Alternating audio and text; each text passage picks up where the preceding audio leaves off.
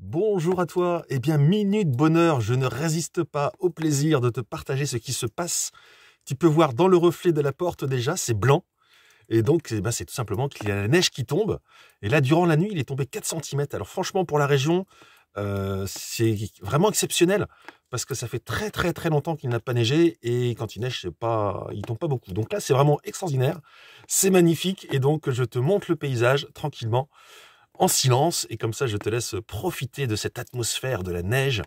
Euh, c'est velouté, c'est ouaté, il n'y a plus un bruit, c'est extraordinaire.